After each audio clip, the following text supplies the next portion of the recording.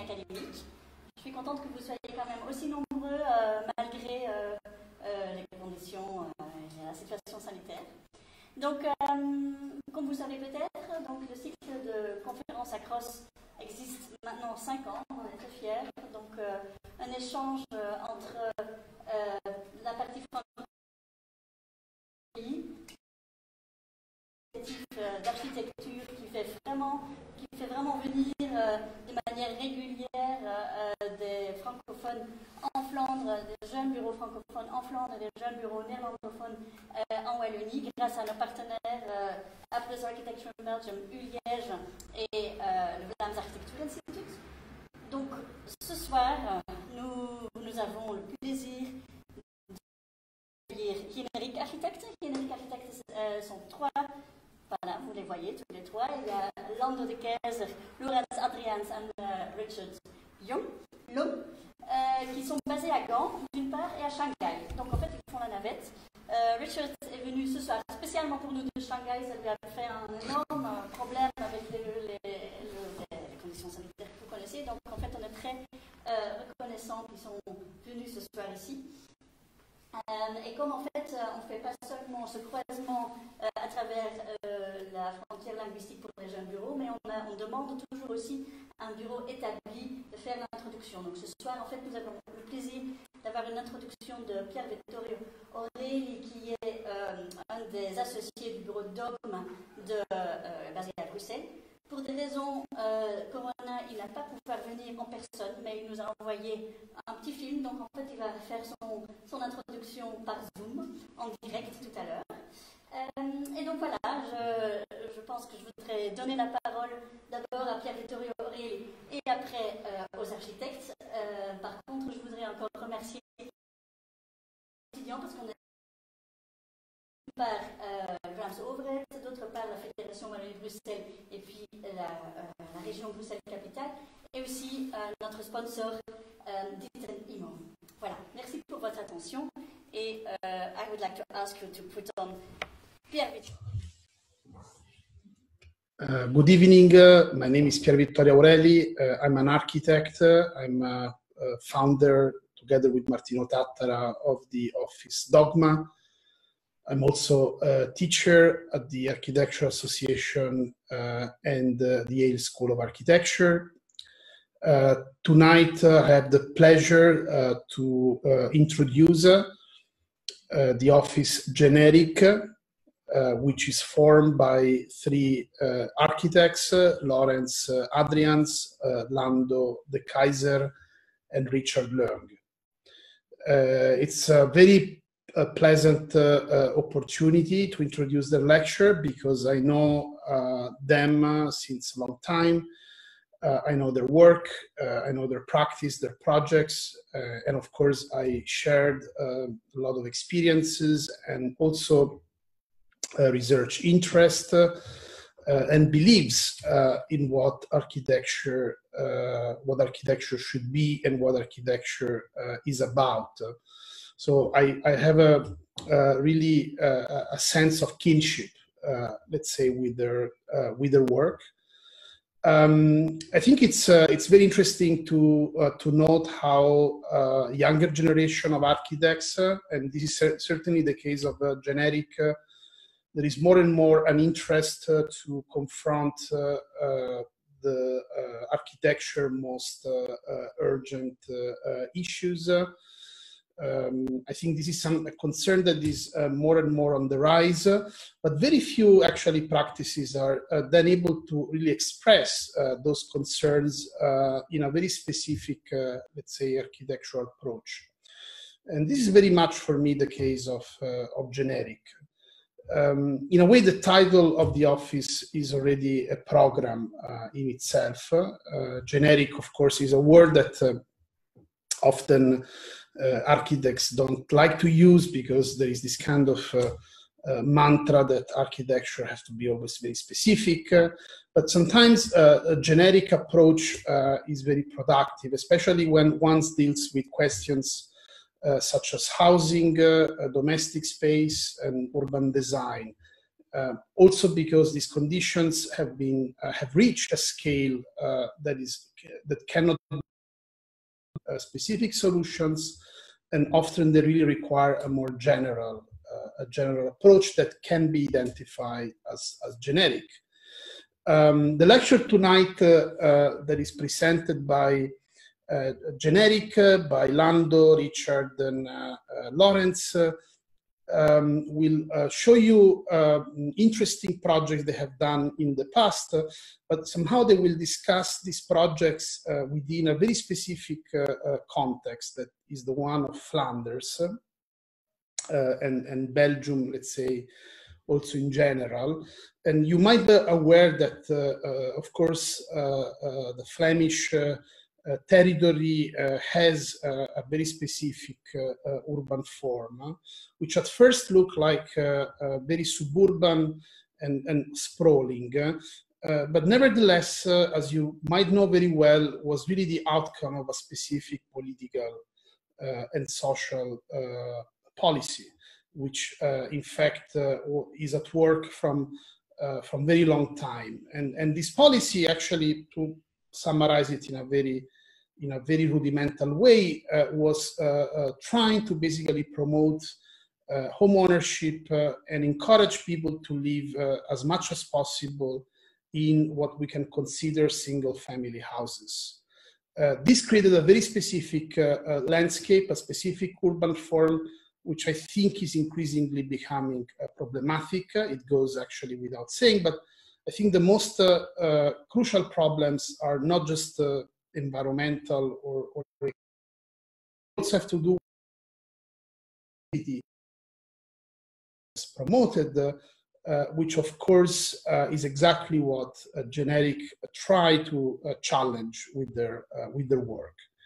Uh, I have to say that I feel very very close to this project. also, Dogma, we have been very very much focused on questions of domesticity and it, it's not just its architectural but also its social and political uh, implications. So I'm, I'm, extremely happy to see that their work is really uh, putting very interesting issues uh, on the table from uh, this point of view. But I also uh, like the fact that uh, Generiek is also an office committed to architecture in, in the most basic and, and fundamental way. And I think this is for me uh, today uh, a huge uh, challenge, especially when you want to raise the stakes of your of your work in terms of program, in terms of themes that you want to address. To remain committed to architecture is is very important. Uh, is very vital uh, and I'm very happy that tonight uh, they will have a chance to show you actually how their body of work, which is actually very interesting, is beginning actually to reflect not just actually their own personal position, but uh, larger issues, larger problems that affect us uh, all. So for that reason, I, I feel very happy that they have this chance to uh, present to you uh, the work. I feel sorry that I could not be there. Unfortunately, the circumstances of COVID have prevented me to be uh, to be present uh, there uh, tonight. But I'm extremely, really, extremely happy to send this video and to send my actually uh, utmost uh, support uh, for their work and for their, let's say, future as architects, but also as, let's say, intellectuals whose contribution to architecture will be about building, but will also be about reinforcing uh, a critical discourse about architecture in the next uh, in the next years. So thanks a lot, uh, and uh, uh, Lawrence, uh, Lando, and Richard. well, good luck and have a have a good time. Bye.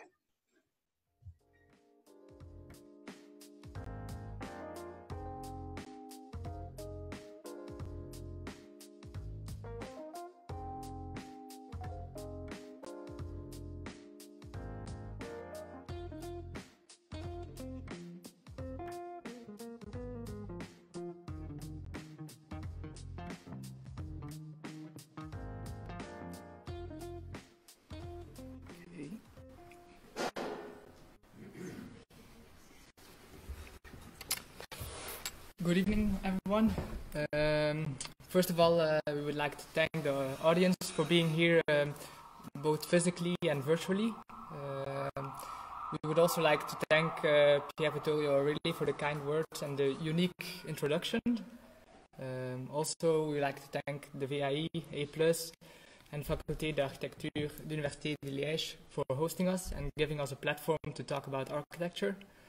Um, we are Generiek, as mentioned multiple times before. Uh, this is Richard Lando and I'm Lawrence. Um, our office is based in Ghent and in Shanghai, so you could say there's also a sort of a cross uh, condition within the office, sort of exchange between these two places. The first act of um, starting the office was actually uh, choosing a name. Uh, we chose uh, Generiek for specific reasons. The etymological roots of our name tries to approach, uh, tries to define our approach to architecture. Generiek an, uh, is a tra uh, Dutch translation of the word generic, which means as much as not specific. But uh, um, the, the, roots of the etymological, uh, etymological word is found in Latin, um, where it defines a, a sort, kind of race, relating to the classification and organizing of commonalities between disparate entities. But also it uh, talks about origin and birth. So this relationship between organization and life um, reflects our architecture. Because we see only that um, through the appropriation of, uh, of architecture as an organizing framework, one can life, uh, life can truly uh, exist. So we see architecture as a sort of framework and a classification of uh, life and wherein um, it unfolds. Also in a later phase, um, the word uh, generiek also has a relationship to the word, uh, the French word générique, which means as much as um, closing credits. After a film or uh, theater, uh, you have a sort of list with uh, the authors of the of the project. Um, present ourselves as uh, individuals, but rather as a group. Uh, the the lecture today is uh, together alone. It, we're going to present six single-family houses and we try to find a sort of uh, commonality between the, these projects and also try to incorporate uh, the team to talk a bit about the Flemish landscape. Uh, the title, Together Alone, is sort of a paradoxal a par paradox of opposites, with the purpose to, to talk a bit about uh, the range in between these two opposites. To under understanding of the, uh, of domesticity is a demarcation of land and, and uh, of land through the uh, plot structure. Toussaint Boulevard by um, uh, Stephen Shore really uh, captivates this uh, this essence and really made us reflect about these things. The plot is always charged with the sort of dream of a building, but through the emptiness of this plot, um, one can also also see sort of the condition where it is in. Um, so the, the, the commissions we get are only not, not only a sort of reflection about uh, the project itself, but also try to um, think about what is the bigger context, even if it's not within the commission, what is the bigger context wherein the house is, uh, is uh, in, uh, planted. Because we look at the larger scale and the multi these multiple uh, multitude of dreams also has a sort of flip side. Um, we all have a, we all know these uh, problems that uh, are um, connected with the suburbia and especially the Flemish landscape such as uh, land use, mobility, isolated social, social structure, water infiltration, and so on. So one could say that uh, the sort of the dreams of the the individual initiative has sort of flip side, and that uh, the the whole uh, the whole at um, the landscape as a whole has become a sort of a nightmare. Uh, we, try to, we will try to discuss the driving forces within this our built investigation. Uh, within, we try to um, we'll try to discuss the driving forces within our built environment and investigate how, contem how contemporary life can be uh, uh can be placed within this. our first project is Plateau Villa. It's uh, located in Zwalm. Uh, it's it's in Flanders. It's um, situated close to the uh, small village of uh, Beerlegem, and on the primary on the left you can see the sort of a primary road that connects two villages, and, and, through a sort of secondary road the the plot is connected, and on the right it's um, it uh, connects with the sort of agricultural fields. But when zooming in more at the plot condition by itself, you also have this sort of um, front and back condition. On the front, you have a, a sort of road condition which connects the plot to uh, uh, the urbanization of, of the landscape. And at the back, you have a sort of a, um, a protective, a protected forest. So this um, opposites is also very present within this uh, specific within this specific plot. But also there's, a, there's also sort of a more fundamental uh, way of living that is embedded within this sort of freestanding villa because uh, the regulations determine it can only uh, it can only have a sort of it has to have a certain distance. Uh, you you also have to uh, take your car to go out. there's so, social there's a sort of uh, mobility that is enforced on, upon you. And we try to really investigate how like daily life within sort of family structure uh, can, can uh, be embedded within architecture. Um, a bit weird maybe to look at a, at a sort of references. Um, uh, uh, so we try to look for this uh, way of embedding life to this um, to through uh, plans of uh, church typologies. Uh, more concrete, we looked at the Basilica di Santo Spirito in Florence by Brunelleschi. The plan with its typical cruciform architecture has a strong actual quality and a central nave with three aisles, which hold the collective uh, rituals and processions uh, within the space. But around this, um, the plan, there's a sort of um, uh, side chapels uh, wrapped uh, in a way to give the, the space sort of rhythm, but also uh, resolving a bit the connection between the nave and the transept. and translating these sort of qualities and also a way of embedding life within a sort of uh, architectural structure. Um, we also thought about this uh, plot specific uh, in a way, how can we connect this front road condition with this uh, really um, picturesque uh, garden at the back. And how can um, how can um, how can we organize the family structure within this um, body?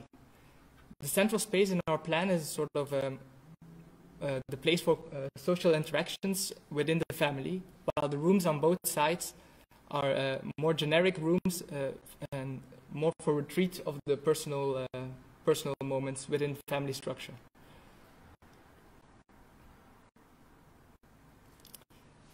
This honest interior photo, taken during a random moment before uh, completion, doesn't show uh, sort of staged or designed life.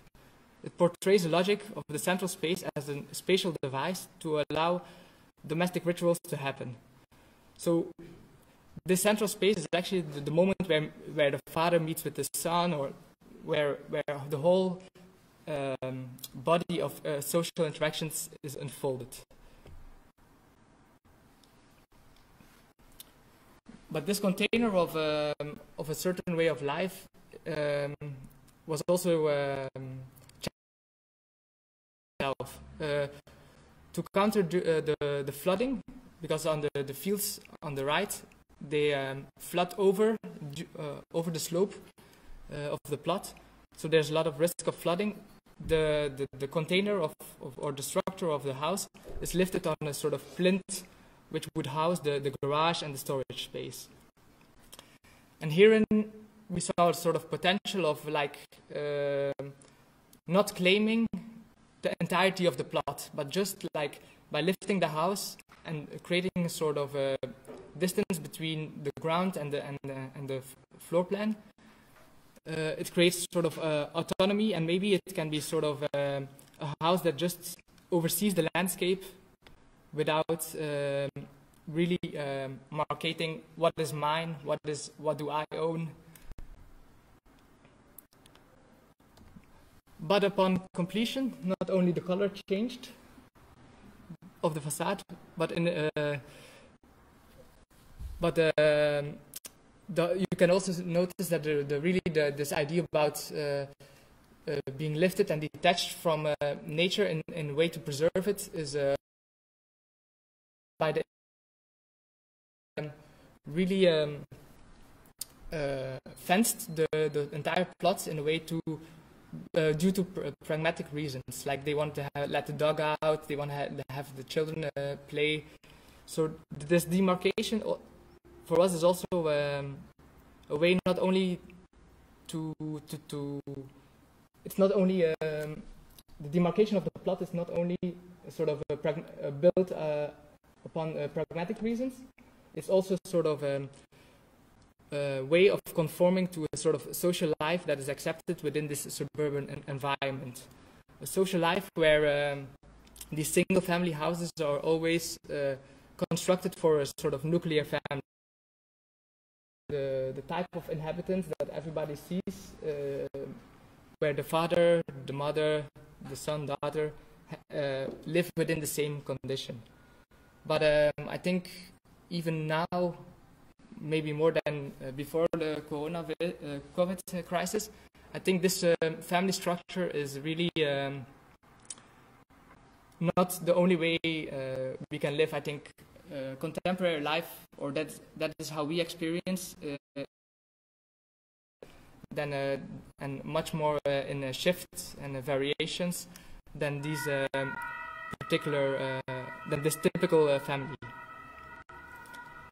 And in a way to think about life or the family structure that could happen within this house, we um, we also try to um, speculate on maps. These maps are not, um, let's say, a sort of um, uh, where we don't try to uh, put forward a sort of alternative, but it's sort of a, a, way of testing our proposal and the typology that we uh, introduce on the site and how it could be extended uh, in a, uh, in a, for, for a multitude and how it uh, can break free from the classical moments. In, res in response to, to this, we try to research and test our domestic spaces beyond the plot and the commission. These mental maps are made for each of our projects and we present tonight. And, and it is both a means to make and test our architecture typologies as a tool to reflect on the bigger context within our uh, projects. So we try to reflect on, on what is it to build a villa within this suburbia and it is, how it is um, related to this family structure and how how can uh, we can make architecture that breaks free from this uh, containment of the plot size uh, in a way to to rethink uh, and uh, rethink ways of living. Um, this map was has drawn um, inspiration from the longhouse typology, which was found in um, various cultures, such as Native Americans, Indonesian, or even Viking settlements. And what interested our us the us the most was the sort of um, how the this container um, talks about a bigger sphere than the, the, the family that we know. How um, how a community can uh, uh, live within within one structure. The original building, con constrained by the plot and dimensions, uh, enforces uh, to conform to a single family home.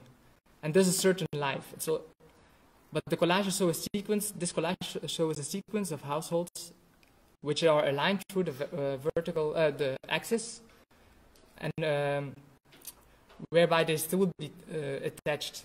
So this is sort of um, an attempt to rethink life from starting from the DNA of the, the project, but how how could it expand and how could it become sort of a mm, way to um, attack uh, certain kind of problems and try to define a sort of new way of living together um, where one would have a, a, sort of closer relationships to, to other uh, families but also sort of a particular way and a relationship to nature. And moving on to discuss more about this social relationships within the, the within domestic and and a certain sense of conformity, as Lawrence has suggested, within these urban environments. Um, we'll explore it through the project of Coordinate Villa. And this project is situated in, in North Eeklo, is still in Flanders, in Belgium. And the neighborhood that it belongs in actually is, belongs, uh, is slightly off a main circulation road. And so it has this kind of detached uh, atmosphere about it. And actually, when you go to the site itself, it's almost like walking into a set of Desperate Housewives. I'm not sure if some of you are too young to actually watch Desperate Housewives when you're young, but yes. Um, it's, it's, almost a, it's almost a quintessentially David Lynch feeling and atmosphere in this neighborhood when you actually enter. And it's perhaps owing to how the neighborhood is actually appendix from the road itself, thus creating a sense of insulation and isolation and our project is really, amidst this, orienta- this orientation, is really an attempt to seek a way of orientation within these environments. And common with these kind of neighborhoods is actually a prevalence of social conformity, where if, uh, if that, that neighbor has a lawn that's beautifully manicured, I also kind of need a lawn that's beautifully manicured, something like this. And this, this is used as a way of establishing a, a sort of sense of belonging even while the plots themselves are heavily individualized and isolated? Or is perhaps because of this individualization with each of these plots and the social isolation that it, it, it entails that there's a compulsion to uh, have that sense of belonging? And a reminder of that, it re- really is this film, American Beauty, um, although in America, but I think it's still a strong correlation. And in this, particular scene is where the character that Kevin Spacey plays lashes out at the dinner table, unable to hold the pressure of the social conformity of this ideal of suburban dream. And against the very backdrop of this very picturesque and ideal, idealized scenario of uh, what we would associate a suburban dinner table to be. But as we move towards the project, uh, we take inspiration from John Hejduk's North South East West House, where in the plan it separates, uh, the walls separate four different unique conditions within the house. But yet, as much as the four walls divide, they also define. At the very all four of the walls come together. They join, they coordinate, and they orientate. And translating these ideas, these fundamentals into the projects, these four walls define different rooms within the ground plan, uh, the living space, the big one, and storage, the garage for the car, and the bedrooms. And at the very point of intersection, the walls open up for circulation between these four quadrants. As you transition from one, you can clearly see the other rooms. And thus you're faced, at the very moment, you're faced with a choice and decision and the clarity of the direction you take. And the circulation is not induced. It's not like a free flow thing, like um, where, where it's kind of trendy, where or uh, you don't need to think about the circulation itself, but, but rather the conditions are made explicit of these quadrants, allowing for the inhabitant to make the choice at the coordinate to which room he wants to enter and what conditions those rooms are. In a way, it becomes the origin point of the building. And in section, um, conforming to the plot regulations, uh, we created the pitch roof for the house uh, with additional volume on top and between the volume on top and on the ground, uh, storage is sandwiched in between. But this volume on top is also transformed into something akin to a lookout post. The very sense of securitization, the kind of neighborly warmness, uh, and the uniform envelope is applied to the building, and in this case, it's uh, corrugated aluminium creating almost a sense of uh, like a reflective fortress of domesticity. But when all is said and done, this, this project is not really an attempt to, say, reinvent the wheel and create something insanely new. But because in its essence, it is actually still a suburban house. but, but rather is a reworking of our typological reading of the typical suburban house and to look beyond its current constraints. And with the socially alienating tendencies pertinent to the, uh, the, uh, to the suburbs, it is also an imperative to discover typologies of collective living. And in this case, um, the dividing walls of the house can possibly extend outwards. Uh, in this case, hedges, joining with that of adjacent houses, obviously uh, assuming that we multiply and replicate these uh, typology and forming a series of uh, new shared rooms or gardens as they come and join together, these new dividing uh, strategies. And with each quadrant in a house forming part of a collective room that's also shared by three other houses. And this is done as a as means to move beyond the isolation, the alienation, and the securitization that's so often characterized by these sort of neighborhoods. To suggest a way of living that can overcome this and using uh, typology as an apparatus and a device to explore the way of life and the forces that perpetuate within the suburbs in, in, an attempt to understand the states of mind, the subjectivity that flows throughout, the, uh, throughout Flanders. And so this brings us to the, net, the next project, the Cross House. Actually, to to further explore this phenomenon of suburbia, ironically, we go to the city, um, the city of Ghent, um, and actually, like this project Crosshouse is, is a kind of special commission also to us because it was our first commission and it actually kind of allowed us to, to start our co collaboration and to start our office. So again, it is a commission for a, for a single family house, and um, the plots, as you can see, is, is located in the city center of, of Ghent. More specifically, it's in Patershol, um, which is characterized by narrow streets. It's a medieval district uh, with uh, medieval streets and also quite dense and complex uh, built fabric. And what kind of fascinated us is, of course, the location uh, of the plot, which is in the inside of the block. So it's, you cannot experience the plot from the streets. You have to actually enter uh, the garden to, to access the plot. Um, and we were kind of intrigued uh, by, by this garden. Um, so before we actually went on site uh, to visit the plot, we also digged up a bit the history of this location, and we actually found that yeah, it used to be um, a monastery and a school um, back in 1906, where you can see that actually the, the garden is really a collective um, space that kind of connects all the separate buildings of the school. And in the back here you can see um, the concierge house, which is actually the, the house, yeah, the location of, of our projects.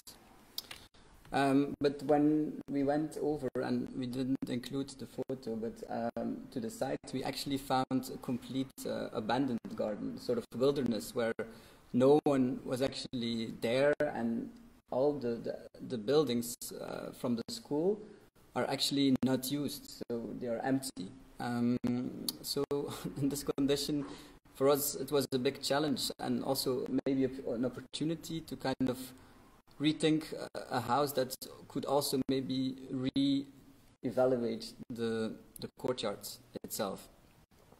Um, also because the, the existing house, the concierge house, you can see was in a really bad state and it needed to be demolished because of uh, structural issues.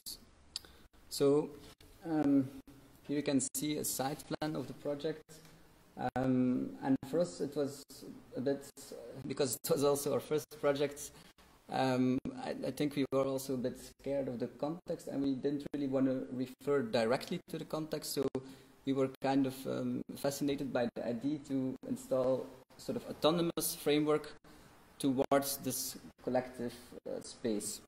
And the first intervention uh, for us was maximizing the, the, the building um, plot because you can see here uh, that the concierge woning is, is actually a bit to the back and with new project we wanted to put the facade really uh, in the front facing facing the garden.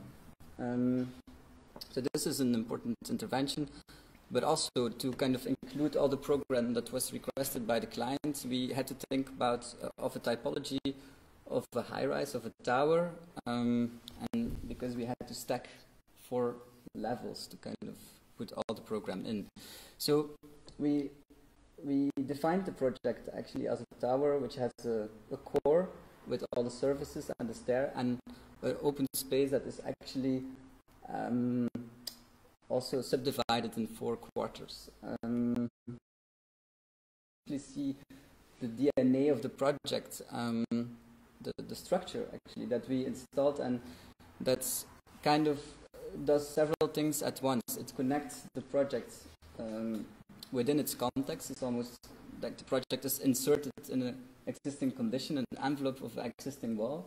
So to stabilize this wall, we needed a sort of structure uh, to keep, uh, to kind of guarantee the stability of the, of the walls where we put the project in.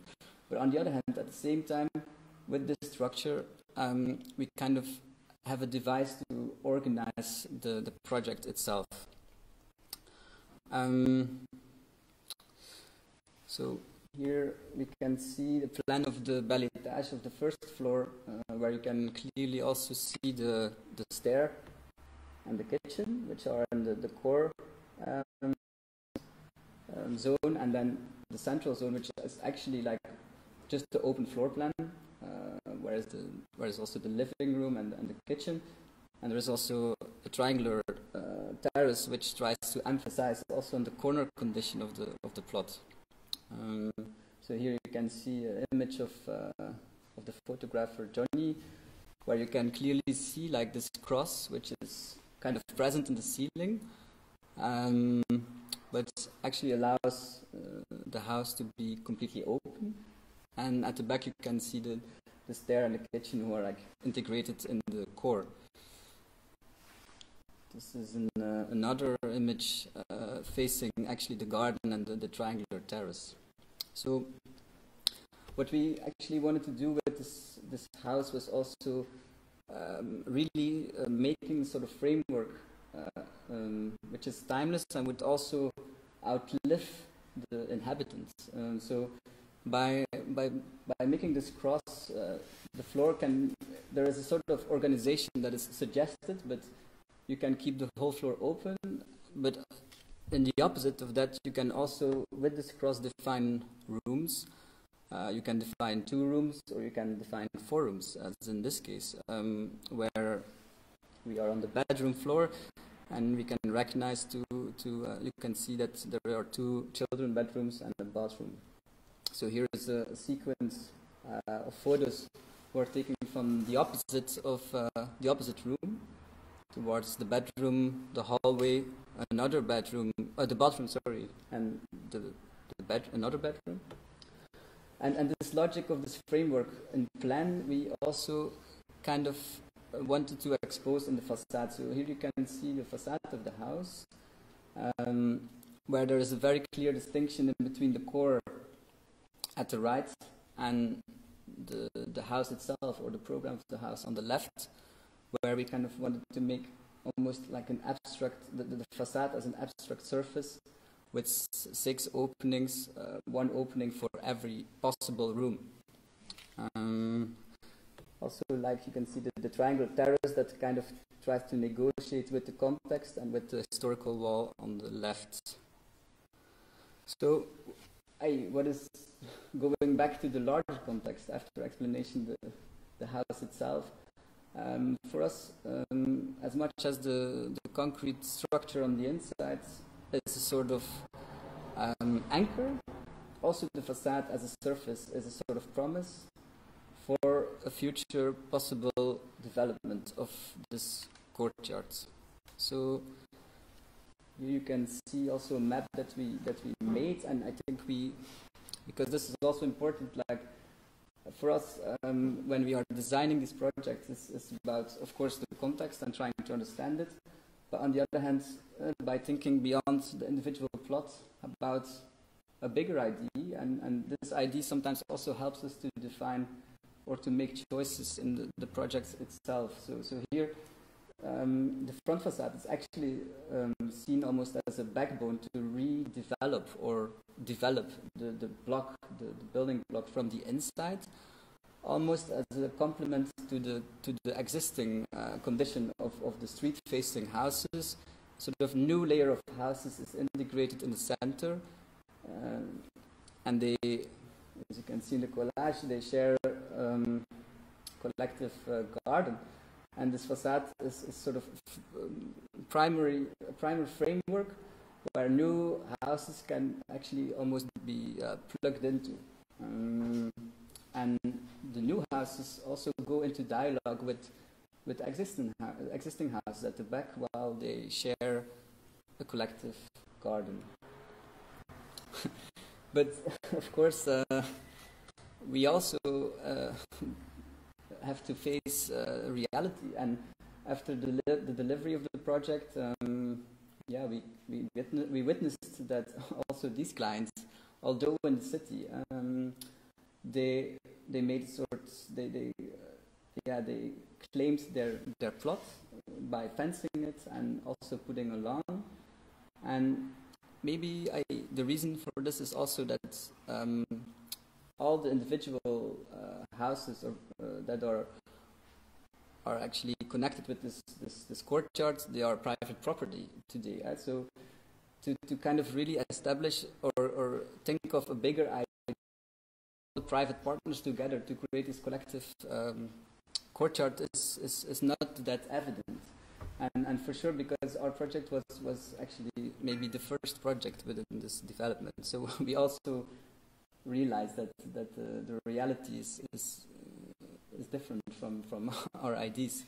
Um, and actually, what we also learned from this is that maybe suburbia is the phenomenon of suburbia is not really um, something that is uh, typical to only the sprawl, so the, the neighborhood condition from uh, coordinates, but it's actually maybe more of a mindset of ownership, uh, claiming your plot. And we also clearly see that. And it probably the, it's also quite complex um, uh, thinking beyond it, like um, behind it, like a feeling of security feel for the children and everything that exists amongst us, uh, everyone. So, so this is the story of Cross House.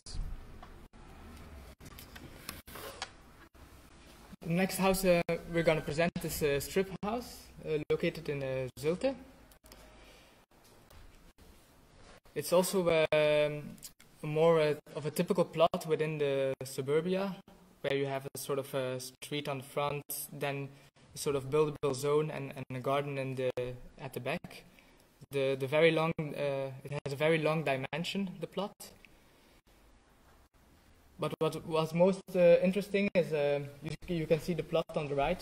And what was most interesting uh, for us was actually the sort of already existing neighbor. And uh, it's a sort of a semi-detached um, house. And, um, and you have to um, comply to these regulations. So there are actually um, on, on the plot, there are also sort of um, uh, regulations uh, placed upon. So you, uh, the, the typology could not be a sort of freestanding or like a, a row house. It has to be uh, detached to the, to the neighbor and then has to have a, a free zone next to it. But in reality, these, uh, which you can see on the left, these dead zones are often used as a, as, as a, car parks or left it's probably it's mostly uh, leftover space. And these uh, regulations dictate a very uh, specific uh, architectural form and that we uh, associate with Flemish suburbia. But they also um, they also define sort of an iconography of, of the of how, what we see and how, how does the how, how do we perceive the landscape but also embeds sort of a social structure where you have to conform to your neighbor. Our proposal really tries to um, accept these regulations and try to change the, the, the, the, architecture from within. So the sort of basic DNA was um, uh, strips uh, grew from the the fact that we had to keep on the right a sort of a, a build-free zone, and it was uh, dictated by regulations that it had to be three meters. Translating this um, this this into the plan. Um, on the left, we organized the, the more um, rooms, let's say, where on top uh, you have on top and bottom you have the rooms with a, a, view, and in central you have the heart. The second strip is actually sort of a service strip which uh, households uh, the stair, toilet, uh, kitchen, and bathrooms, and actually uh, is sort of a threshold between the individual rooms and the living space on the right. The living space is a, a continuous open space uh, where we uh, would just apply the the, the, the, the floor and, and, and life of the inhabitants could uh, could uh, take form. But uh, we really um, try to incorporate this sort of specificity of the dead zone or the unbuildable strip on the right and try to um, see the benefits of them by um, incorporating uh, by incorporating it within the, the architectural framework of the of the of the house. So there's a soft uh, division. There's a soft division between the living space uh, here centrally seen, and on the right the the dead space, which could be uh, in incorporated as a terrace or, or, or a garden. On the left, there's a more uh, sort of wall condition that would separate the uh, individual life from the um, collective life. What was really at stake for us and how we tried to perceive this building was uh, by really think, rethinking the, the ground floor and how does the ground floor, uh, how you could uh, incorporate the, the, the, sort of unbuildable space by um, the regulations define that um, you can put fences uh, everywhere, uh, and these fences could be like uh, two meter high. So we use that as that condition as sort of a, a starting point to start design. The the fence would be translated in similar mullions towards uh, uh, towards the on ground floor. I would frame the whole plot. On on top of them, on top of that, uh, it's actually sort of a, a sort of a, let's say room for the subjectivity because the clients actually really wanted a, sort of a white cube uh, modern house and we just placed that on, on top uh, because for us it's the, the, story was not or like what was at stake was not uh, designing this specific house but was more like researching how within these relationships uh, within regulations how we can uh, redefine uh, living.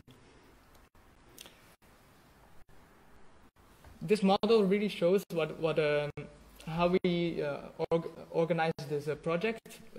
the front, the front um, garden and the, the yard at the back are really left open and really we try to define the client to have a, a terrace, open living room, uh, all within this uh, buildable zone. And by retra retraining, uh, retreat, by retraining ourselves um, to only this zone, we could and and leave the rest as sort of access, we could uh, challenge this typology from within these regulations. So if we would contain, let's say, the, the house within this uh, uh, margin, there would be an enormous space at the back open for a, a, different way of living. We, we saw this as sort of a park uh, condition where uh, the adjacent family would have a sort of relationship to, through the space that they share. So, and maybe also they would have um, qualities within their life that they would otherwise not have. So for us, the pro- a um, this project was really like a sort of investigation on how this uh, sort of um, stacking of families next to each other, how, how this can be a, a bit of erased and blurred by um, putting a limit or a border of what, what is um, individualized within the family and how can we share something with our neighbor. because that's also uh, a feeling that we uh, think is um, very present in these um, situations where they you feel insulated and you you don't have a lot of co contact, but maybe by uh, sharing a, a, sort of a garden or, or park, this would uh, uh, create a, new social dynamics that um, within the neighborhood.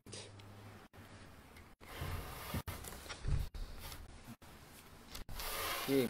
Um, so the next project, Forest Villa, actually is also uh, challenged by specific uh, regulations, um, similar to, to Strip House, uh, but also different.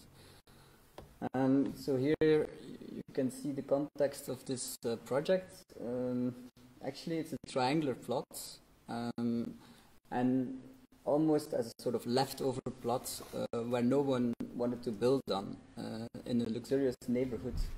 Uh, this plot is located in, in Beerlegem, St. Martens-Latem, um, which is south of, of Ghent, um, where you can easily, where you can see that the territory itself, it used to be a forest, but uh, a forest that also couldn't escape from the suburban sprawl, and where you can see that uh, the different parcels are, are, are present and also um, trees are cut down to create uh, private gardens. So when we take a look at the site plan of this project, um, we can also already see our project, our proposal. Um, but um, what's, what we found interesting is, okay, um, it's a small plot, um, with maybe no particular qualities uh, except maybe from the from the shape of the triangle um, because when we when we went there we could see that maybe the plot itself has not many qualities but the adjacent plot had a forest and actually like uh, for us it was immediately clear that we wanted to orientate the house towards this forest and almost because also the plot is already oriented towards forests, we thought about kind of within the regulations, which are that we had to conform to a setback from the from the boundary of the plot of three meters at street side and four meters at the adjacent neighbors. We kind of literally uh, built the house uh, also. Um, we maximized the footprint of the house uh, within this plot. And so we, we have this triangular um, house. Um, because yeah, also this plot is so small that even even as you can see it now, it's it's actually not enough for for the was not enough for the clients to completely uh, organize the the program of of what they wanted. So. Um, here you can see sort of exploded axo um, where uh, you can see um, where actually there are, you can subdivide three uh, elements. Um, there is the facade that kind of protects the house uh, from from the environment, from the street and the adjacent neighbor. There is the, the, the, program itself, which is almost inserted into this facade, and there is also an additional volume and uh, with the, with the completely glazed facade towards the forest. And there is also the addition on, on the roof uh, to kind of conform to, to the requirements of, of the client. Uh, but again, for us, the story of this project is about the ground floor. Um, so here you can see an external collage uh, from the street side where we can clearly uh, see the solid facade uh, with small regular openings uh, for windows and separating the more intimate condition of the domestic interior away from, from the streetscape. Where on the, on the other side of the house, on the back of the house, there is an open glazing that fully embraces the view towards the forest. And here you can see a plan of the ground floor of the project. Uh, you can also see that we perceive this project almost as a, um, a cut-off typology of a bigger um, building, um, where the diagonal facade is almost a section, and the, the house is actually organized um, accordingly. So with a set of rooms at the border, the facade, ex external facade, and then a sort of uh, collective space in the middle. So sequenced, we have uh, the entrance on the left, and then a stair, some storages with the kitchen, and then two bedrooms on the ground floor, with the master bedroom, bedroom on top, as requested by the client. Um, so, so this collage um, kind of emphasizes the idea of this project. Is it's uh, also like the other projects, we also try to think beyond the plot, but in this case, it was really present already, um, the quality. Um, saying that the forest, although it's not owned by the client, it is a, very, uh, for, uh, it's, it's clear that it's, it's the biggest quality um, in this uh, environment. So rather than being subjected to the overall tendency to build and to use plots of land, uh, for us it's clear that even though the forest is not owned by the clients, it's actually the most uh, interesting part. So to go further on the, the, the experiment that we always do, we also created this, this map where we were thinking of uh, four of, of these forest houses um, that kind of frame the forest and kind of protect this forest as their garden instead of cutting out garden uh, trees to, to create a, a private garden. Uh, in this map you can see actually four houses uh, where the plot lines actually are dissolved and where a big plot uh, exists and, and is, and, is, shared by four houses who share a collective garden. Um, and where the villas actually serve as a corner of, of, of a greater typolo typological uh, vision. Um, so this is um, the collage uh, of this uh, idea. Um, I think it's also clear that I, um, from this collage you can also understand maybe more individual projects, um, uh, the framing, um, sort of collective garden. Um, yeah, I think, I don't know, that speaks to itself as well. Um, um, I think what the projects uh, Lawrence and Nando described earlier on, uh, some of the themes, recurring themes are the relationship between uh, plot boundaries and the social dynamics that we experience within the built environment. And to push it even further and to further explore this, we'll go to our project Slope House, back into the city in Ghent, Belgium. Um, it's a three-story building, and on the street side there is a historical facade that's meant to be conserved. Um, and it faces an interior courtyard at the back. Uh, the site is kind of similar to Cross House, but radically different in the sense that this courtyard there is a chaotic mix of volumes, all these kind of uh, funny volumes like Lego blocks kind of just amalgamating inside. And this, this, the reason for this kind of volumetric in this interior courtyards in the city is really owing to the regulations of uh, neighborly offsets whenever you build a building. And with the depth of the plot is actually relatively quite deep, the, uh, we propose to separate the plan with a core right in the middle. So we divide uh, each floor plan into two rooms. Uh, first of all, with the practicality of getting natural lights into the rooms on both facades, but also to really explore the possibility of that duality of the project from both fronts and rear.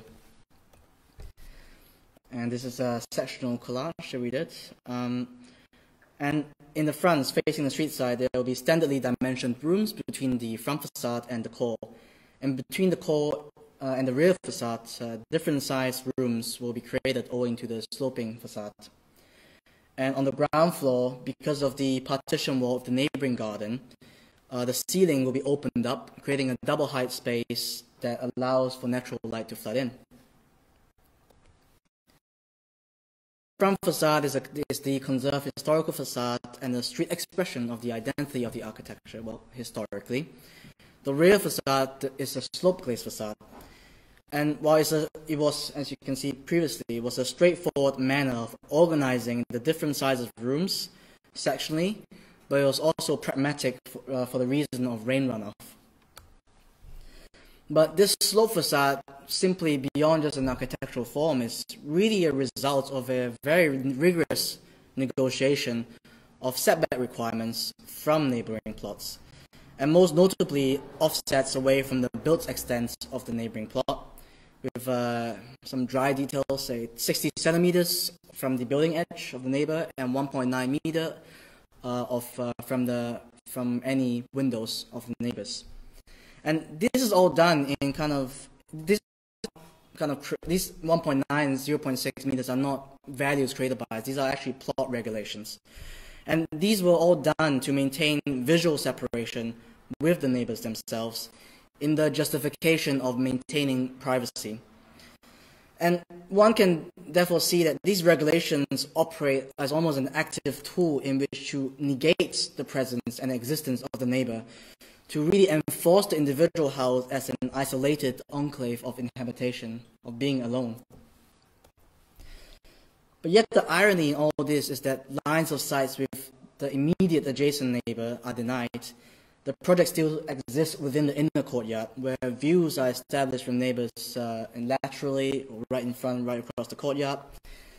And, and therefore, the inner courtyard is really an intensified paradox uh, of at once living in a domestic space of isolation, but also very presently confronted with the reality of living with others.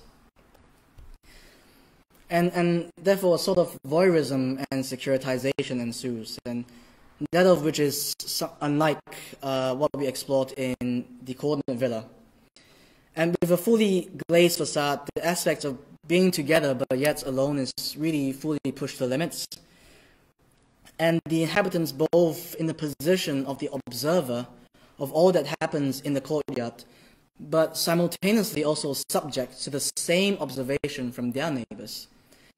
Where at night the intimate happenings of the interior is fully exposed, like what time you cook, whether you watch the TV, these are all very much revealed uh, in this condition. And as with all our projects, we like to explore it further in the, in the understanding of the context. And this deviates slightly from our other collective plans, uh, was more scaled up and more zoomed in. And in this case, the vertical core in plan repeats itself in the middle of the row houses, creating a kind of a continuity, of course. But what separates is really only the partition wall between plots, the boundary line, really. And facing the inner courtyard will be a series of uh, glazed facades. And aside from the offsets required by the regulation, this exploration of in, within the collage, uh, the building forms are fully glazed, so apart from the 0.6 and the 1.9 meter that we talked about earlier on. Uh, the voyeurism actually present here itself really is a manifestation of a kind of alienation that, a social alienation in, in specific, that contemporary domesticity creates the, the simultaneity of being made aware of the existence of others, but yet almost trapped in your own bubble, your, your own space of isolation, creating this tension of voyeurism of wants, of curiosity. What's neighbor doing? You know, you're, you're kind of trapped in this bubble, like you're really curious. Neighbor A, what is doing? Neighbor B, uh, they have an argument. Something like this. I mean, we are all, at some point, kind of curious about things like these, aren't we? And, and I think what aptly the, this film by Alfred Hitchcock, Rear Windows, really aptly encapsulates this condition. This uh, very moments of uh, voyeuristic observation.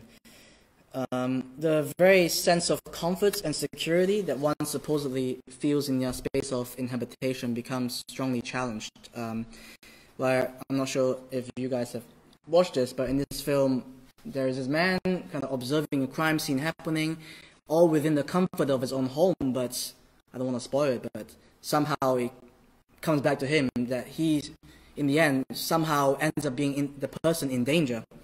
So it's really like the awareness of the existence of others and exposed in their most intimate moments uh, is all, also a haunting reminder that we, that we ourselves are subject to the same exposure to others and in that sense also starts questioning whether the comforts and the satisfaction that we feel in our space, in our domestic space, is real or not. And now going back to our collective plans is really uh, to look beyond the individual villas and houses uh, that we built, or not, not really only the ones we built, as more than simply singular objects like sculptural things in the landscape, but really as a typological framework that might be able to enable new ways of living collectively, um, overriding the isolating and alienating way of life that planning policies and building regulations have enforced. And, and actually, in doing these maps, I think it was also a recognition that these regulations and policies have over the built environment. And, and to a certain extent, architects hit a certain ceiling afterwards that we can't really bridge this, uh, these regulations. And what we're doing here is really try, trying to attempt to work within these regulations, but at the same time also against them.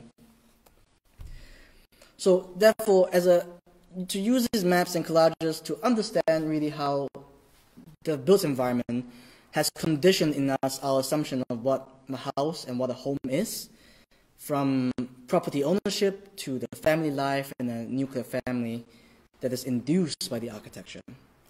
I think amidst this COVID and Corona crisis, it, uh, we kind of also have to deal with this very significant problem right now. But I think also during lockdown, a lot of it has been revealed to a lot of us that uh, of this increased awareness of that social alienation in the domestic space of like you know, wanting to see people. Just simply simple as that you know? And and yeah exactly because of that the actual importance of tangible social contacts. And so we we end the lecture with this image and this is part of the series called intimate distance by Todd Hido He's an American photographer. Although in the context of the United States, I think it really strongly encapsulates a fundamental essence of what we're trying to talk about and what we're exploring as an office. Um, on how the house is an embodiment, an amalgamation, or really of uh, private property ownership, the dream of the single family life. And with that, it's really, and thus the social alienation becomes one of our making, really of that of living together but yet still so alone. Thank you.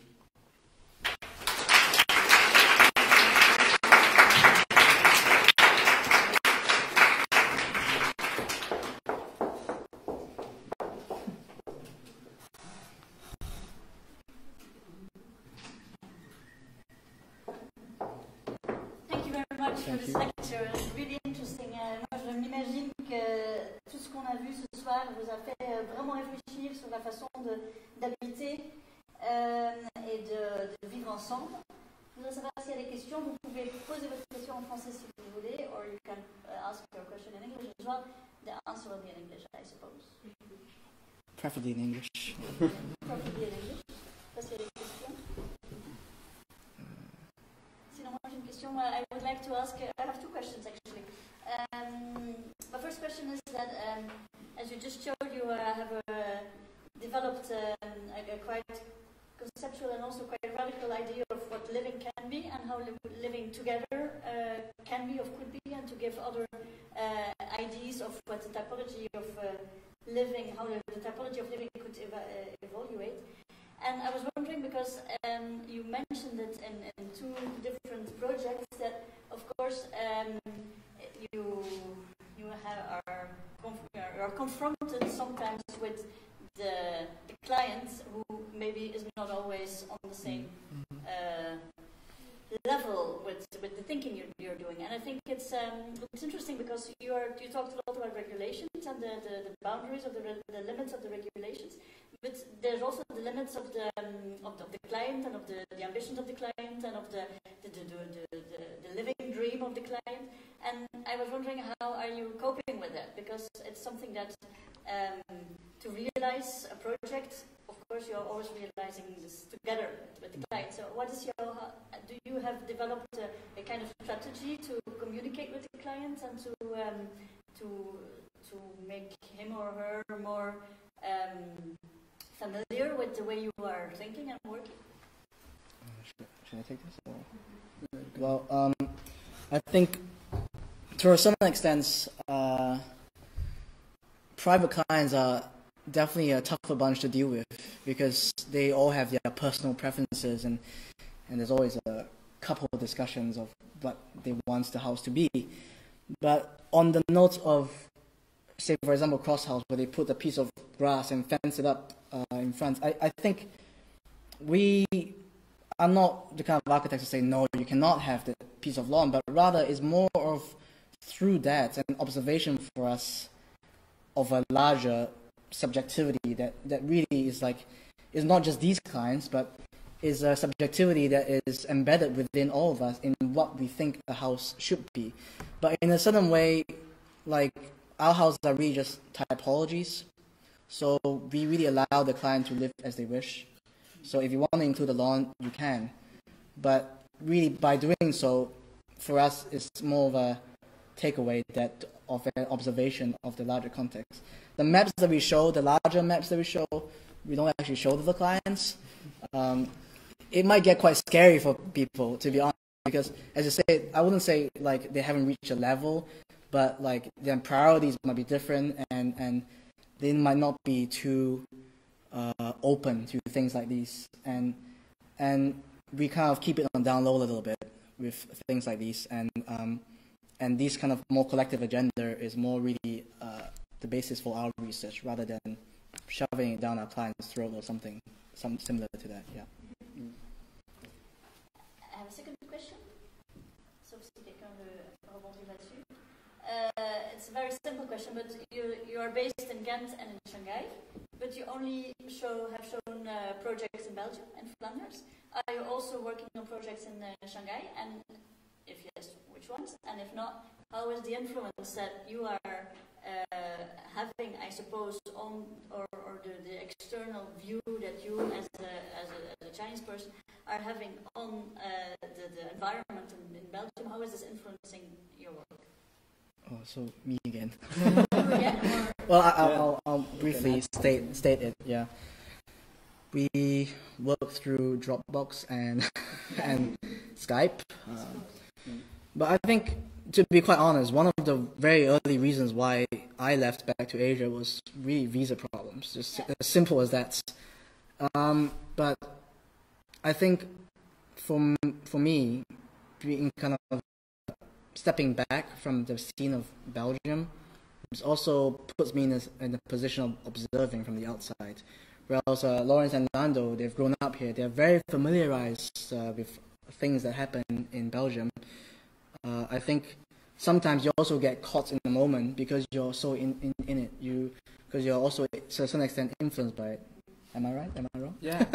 okay. But also yeah. sort of a, um, it's a combination, I think, of the observing uh, viewpoint of Richard, but also sort of more uh, the fine feelings that and the nuances in between.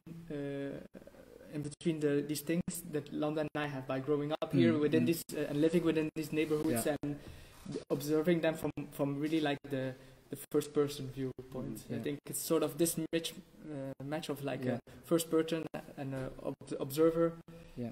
finding somewhere. Uh, yeah. And we also have to say, I have to say, like it's also quite challenging for us to to work within two places on, on the same projects. But I think we have all experienced it in the COVID times that yeah, we, by necessity we need to work online together, and for us we were actually already kind of used to that. So, um, life but, as but, usual. But it's it's strange because mostly when when you uh, when you uh, define projects or you design, you're together on the table and mostly sketching and testing drawings. But uh, we are actually really uh, drawing on the computer, and one person is drawing when we are the three of us talking um, about what to draw or how we could uh, approach the project. So I, yeah, for us it's actually um, yeah we're really used to it. Kind of used to it, yeah. yeah. And you're not building in China. Uh, no, we would love to. If any, no one's Chinese here. um, it's a whole different ball game, the market there. So that will take another maybe one or two lectures to talk about. Yeah. but also because for this, we don't only build and design for Belgium and Flanders. Uh, but it's also owing to the across theme of kind of like exchanging between Wallonia and Flanders. that we want to kind of present uh, these series of projects. Yeah. And also, to be honest, like most of the commissions is from like the friends or family sphere, and that's how Mm. I think to transit from uh, working for somebody and then doing your own stuff, you need a little bit of like connections, and then Yeah. we hope to get the ball rolling. It's also a, this unique condition in, in Belgium, or uh, especially also Flanders, or maybe also Wallonia, but I don't know, that there are a lot of private clients, uh, because um, I think in, in other countries it's really different. Um, and, and because of that, there are many commissions, and architects uh, are able to start offices uh, also in Flanders. Um, so that's also the reason I think we talk about these projects because it's sort of continuous flow from the beginning of starting our office until now that we have commissions like like these. Um, but I have to say, like, um, although like there is a lot of subjectivity still because every client has its own wishes and requirements, we we also feel that th- there is an awareness coming up that um, a house is also a sort of investment and um, that yeah when you kind of make a very specific architecture for, for um, maybe it's not so interesting for another for a next um, uh, nuclear family to come and live within this project. So I think that's maybe also a bit of the developers that are taking over the market and they also think like that. So also people start thinking like that. So if we buy this apartment or this house we should be able to kind of sell it again at some point. And uh, that's actually not so uh, maybe there are bad things about developers or the fact that the developers are taking over. But but maybe the good thing is like we also feel kind of um, we think of, of architecture in, in a way that it should um, outlive the, the inhabitant Yeah. and, and in that sense sometimes we can also convince the client in the story or, or, or even sometimes the client comes uh, with this, this request so Which brings us back to the question of being generic. Yeah. exactly. yeah so Okay. yeah Are there other remarks or other questions? Yes, there's another question. maybe one uh, question. Uh, um, it's very fascinating to see like how your architecture uh, th- there is a very conceptual approach to it, almost mathematical and uh, uh, geometrical, but then and then it, it's confronted with like the chaos of Belgian uh, uh, urban structures. Um, do you think that this chaos is something that needs to be dealt with and that, that was fighting against, of, or is there also uh, uh, a redeeming quality to this kind of bricolage, uh, improvised DNA in, in Belgian building culture? For me, I, I think I'm personally talking. Uh, I don't know about Rich, but I think this is sort of glorification of the ugliness and the, this sort of uh, bricolage of Belgium is really um, not the way to go. I think it's really like a sort of um, hiding a bit with the sort of romanticizing uh, the condition, and I really, I think, start really believing from uh, the change from within. Like, uh, how can uh, each project make a sort of uh, change and, and not glorify it, uh, and uh, sp- sp- create a spectacle about the, this condition. I, I I think on, on that note also that one of the key things about Flanders and the, let's just say the suburbs in general is also you that conditioning that of the asso- association of house in the suburbs is so ingrained in, in, in Flemish people that it's hard to unroot that from that association. So to have a huge one-off mass rollout of policy changes is near impossible in that sense. So in by introducing these kind of like uh, neighborhood maps, it's really a way of kind of like introducing the possibility of living together, not like a crazy thing all at once, but you know, hey, there is a possibility for this, kind of things to sort out the Flemish territory. Let's just do it one at a time, kind of thing. Mm-hmm. So I think there's a, a softer approach to that problem. Let's just put it that way. Yeah. Mm-hmm. But I think I, we are also aware, of, of course, of the fact that we make these, these maps, but it's I, for us as architects, we can only work with the projects that we get commissioned, and to, we really want to also express ourselves above the, the, the, the plot, let's say. But we also, of course, understand that it's not about only the architecture, but also the mentality of people Mm. that they want to claim and, and their, their own plot that we also know is so strong that um, we can only kind of trigger people with our work Yeah. and even maybe also the policymakers to to go to a slightly uh, to slightly change maybe the way of, of living together. Because like for so long like the policymakers have actually installed this way of living not only in Flanders but all over the world. So it's like the ownership like the, the family like it's also like you have to people try to conform to the, the to the, to what society ex- expects from them. And and so that's at some point they need their own proper house in suburbia. And I I think maybe now it's it's maybe not uh, as much as, as, as back in the days uh, but it's still present it's, um, this idea of success once you have once you live in a in a villa And confirmation of success. Yeah.